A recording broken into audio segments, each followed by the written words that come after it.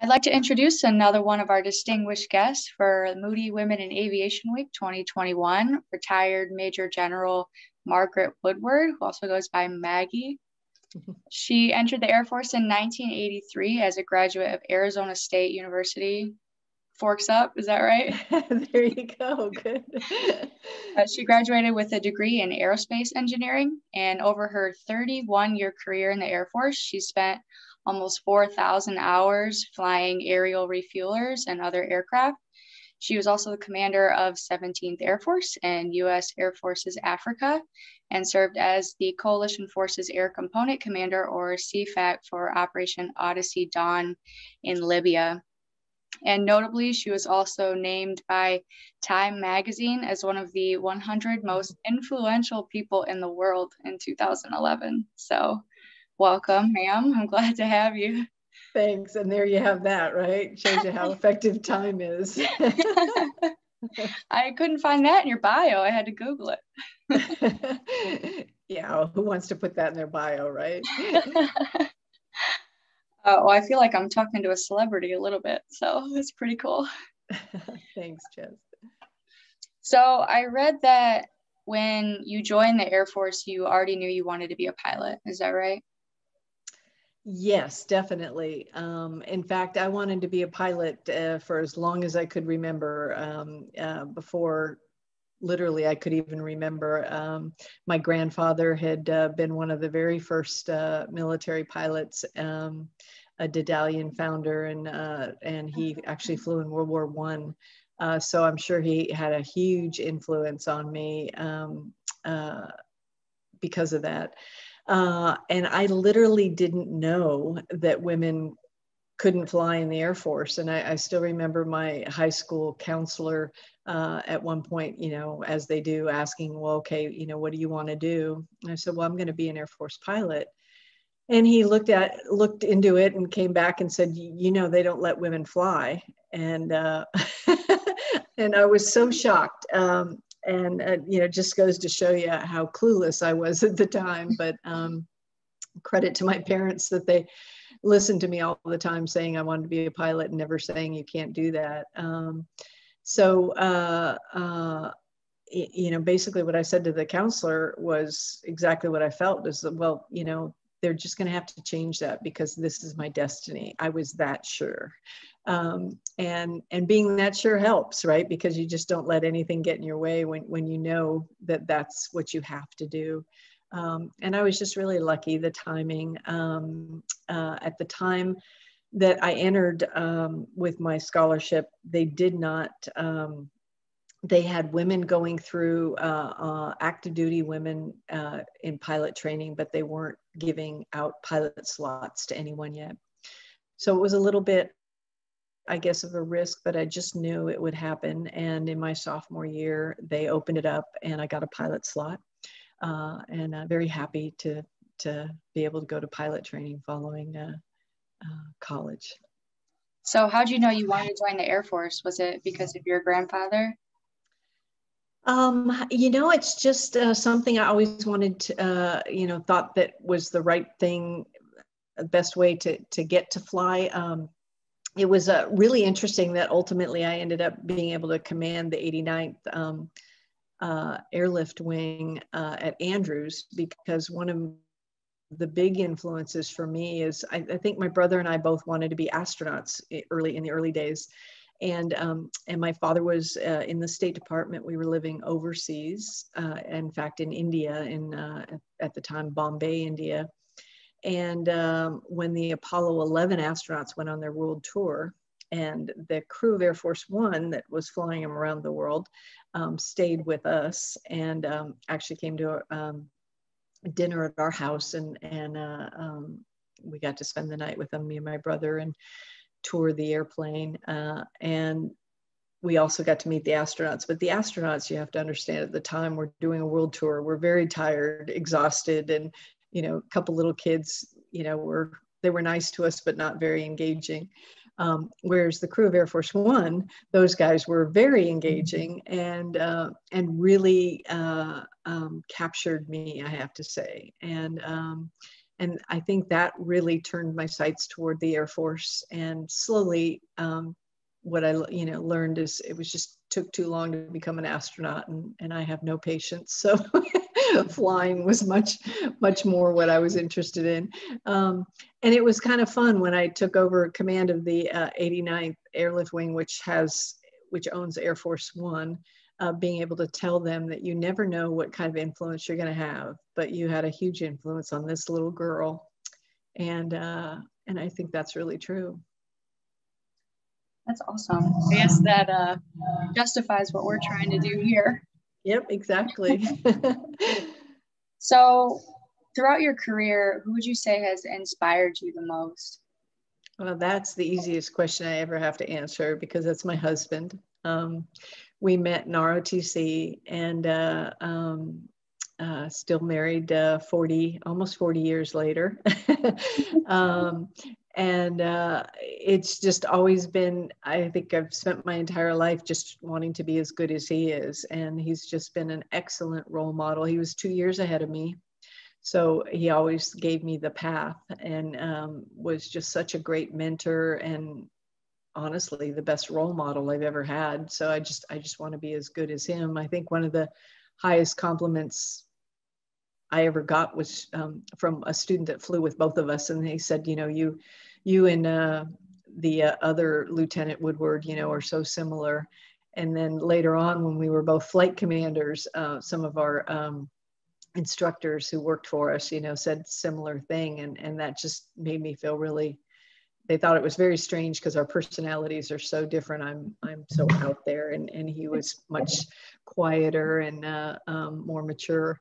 Um, and uh, but when they said how similar we were, just to me that was the highest compliment in the world because I have so much respect for him. I love that story. I'm actually joint spouse too. My husband's two years oh. ahead of me. Mm-hmm. He's in the Great. Navy, but I feel the same way. But I do want to ask you it's a challenge a lot of the time for joint spouse oh. couples oh. to both mm-hmm. stay in. Um, I know retention of women in the military is a big issue for family reasons a lot of the time. So, how are you able to make that work with two really long, successful careers? Yeah, um, it's it's certainly a, a, huge challenge. I won't lie to you about that. Um, we were fairly lucky in the early days, of course, because um, he was two years ahead of me. We spent two years apart when he went to active duty and I was still in college. Um, and that, of course, was very difficult, um, especially at that early stage of your relationship. But um, he extended, you know, he made, and honestly, my husband made the most sacrifices. You know, you both have to to try and stay together as best as you can. I, I, will tell you that I think he made many more sacrifices than than I did for his career. Um, you know, for instance, he extended as a um, instructor pilot for a year, and then he wanted to go fly fighters, but there weren't any fighters.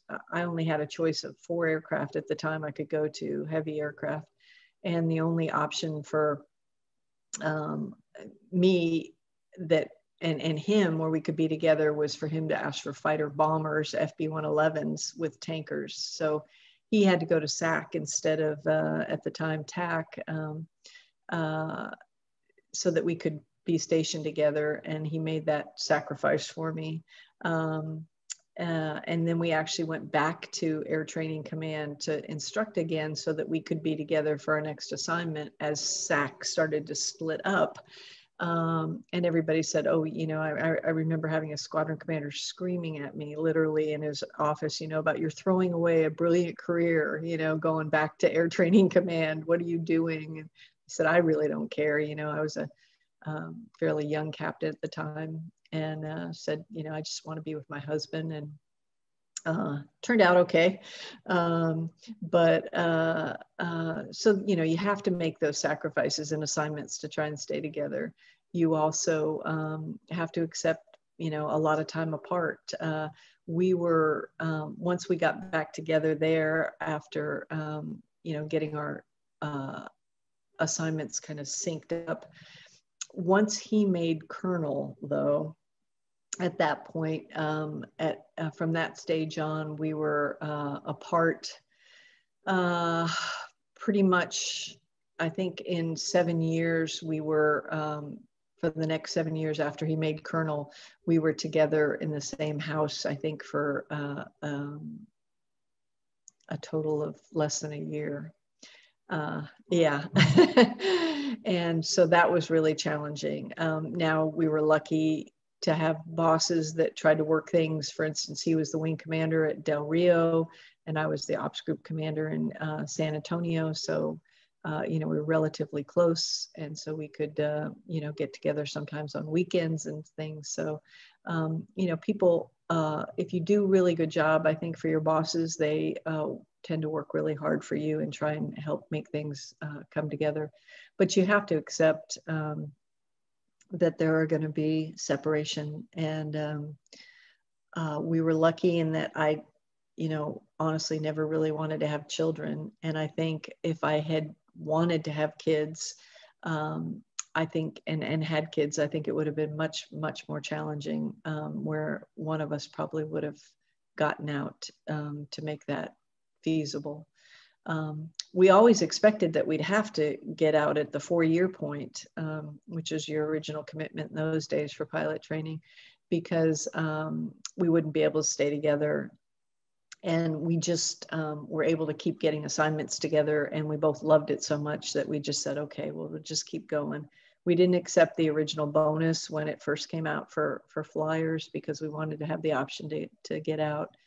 So you make a lot of um, choices along the way. Um, but I'll tell you in the end, you know, looking back, uh, you know, both of us think it's the best thing that ever happened to either one of us to be able to um, share two careers together side by side like we did. Um, absolutely love it and wouldn't trade it for the world. That was going to be my next question. yeah, you know, I always feel funny um, when when people talk about regrets and this and that, and it's just really interesting to, you know, have a career and a, and a, a life where both he and I, you know, sit there and sit, look back and go, gosh, you know, we don't feel like you have regrets. You know, there aren't, aren't things that we would change or, or wish had happened differently. And, and, you know, I think that's kind of the essence of a good life. And um, the Air Force has given that to both of us, which is pretty cool. So you talked about the challenges with joint spouse. Would you say that was the biggest challenge you faced throughout your career or was it something else?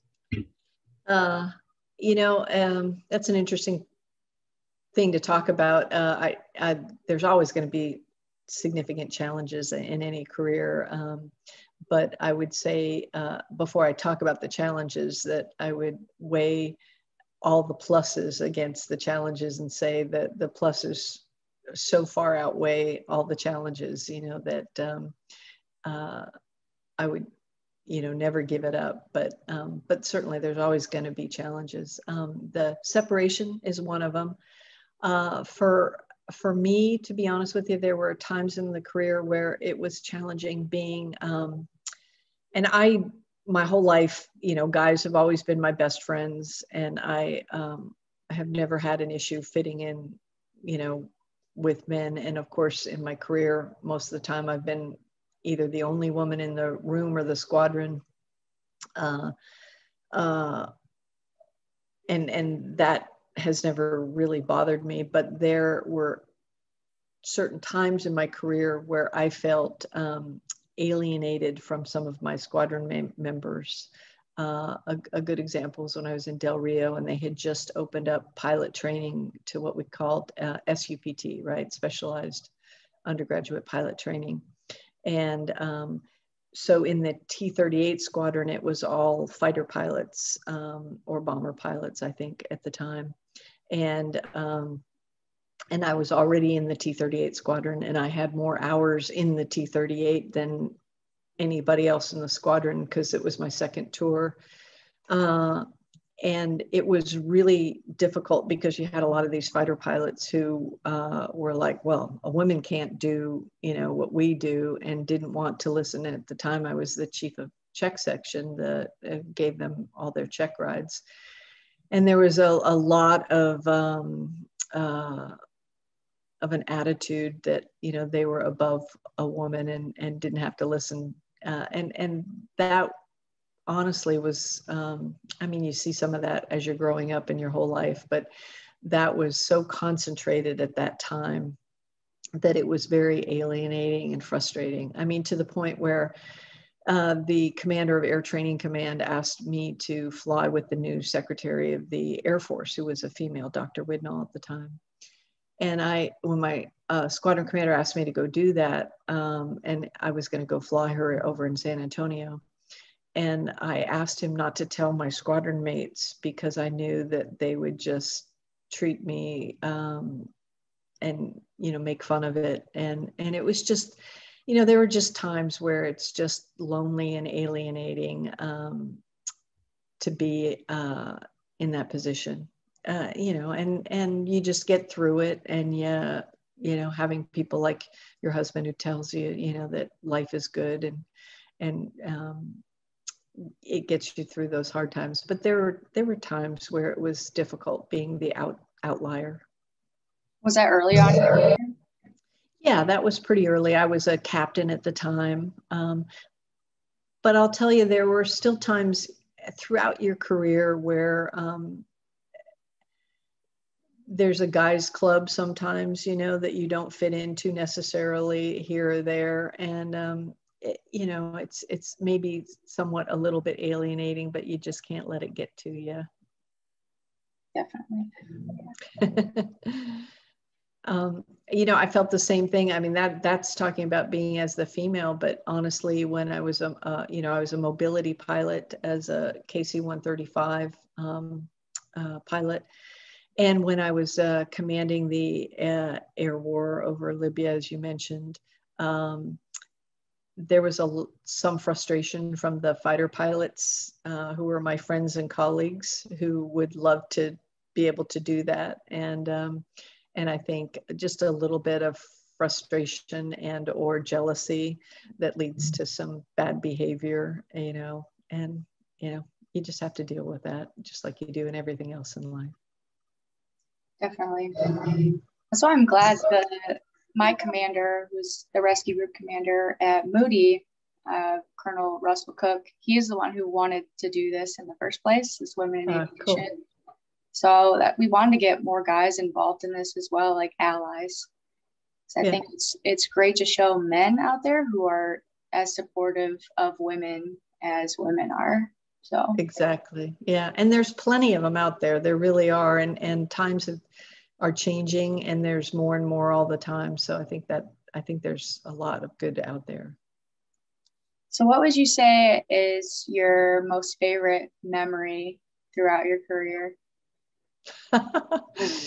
oh man, there are so many. Um, you know, to pick just one is next to impossible. Um, I uh, absolutely loved doing the um, uh, being the CFAC for Libya. Uh, that was just kind of like the culmination of everything that you've spent your career to to prepare for, and uh, to be able to do that and to be with my um, with all of these uh, foreign counterparts who came in and who just accepted me as JFAC. You know, after all the challenges, you know, you face, you know, your life trying to prove that you can be as good as the guys or, or this or that. And to have them come in from all these, uh, you know, we had 13 different countries uh, coming in, including, um, you know, several Arab states. Uh, and uh, and just having them um, be perfectly happy to accept you as as their leader and uh, and to accept your guidance and um, and to follow your lead. Uh, I thought that was uh, a pretty amazing thing. And then later on to be able to go to uh, Libya afterwards and have the uh, the new regime there um, host me. And that was quite a, an amazing experience to have. I mean, literally at one point at Gardabaia Airf- Airfield, they had a line of young children with flowers that I had to walk between kind of like a gauntlet and they're throwing flowers at me. I mean, you know, something you just never expect in, in any uh, lifetime a career, but um, uh, just the appreciation they had for what we had done to support them. That was, that was pretty cool to see, even though they knew they had huge challenges ahead for for another generation and they've been dealing with that ever since. And but they knew they went into it knowing that um, it would be a generation uh, that they would have to deal with you know difficulties before they could fix things for their kids. But um, i could probably give you a hundred million of them but that that's just the first one that comes to mind. So for the young girls who may be watching this video what is a piece of advice you would give them if they want to do what you did? Hmm. Well, let me start by saying I think I love, you know, throughout my career, I've always said, quoted Mae West, which is a, an interesting person to quote for a military officer, I guess. But she said, if I can't be a, a good example, I can just be a horrible warning, you know. So just don't do what I do, right? um, it, you know, I think um, I think the biggest piece of advice that I like to, to give um, to up and coming um, officers, which would apply to the, the young women I guess you're talking to, is don't be afraid to be yourself, to be different. Um, I think, especially in the military, sometimes we think that there's this push to make everybody the same, right? You know, we have this you know you got to conform everybody has to look the same everybody um, has to fit this mold and and sometimes we do that when we're teaching leadership courses you know we try to make it sound like well this is how you be a good leader you know and and and try and lay it out there as, as a, um, a prescription um, and I like to make sure that folks know that you know to be a good leader that that the most the key ingredients into into that are respect and trust. And nobody is going to respect you or trust you if you're not really honest and yourself, right? Um, and also the fact that the military and any organization needs diversity in order to be its full um, to reach its full potential. So um, you know my key piece of advice is to you know be true to yourself. Um, don't be afraid of being different. That's what the organization needs.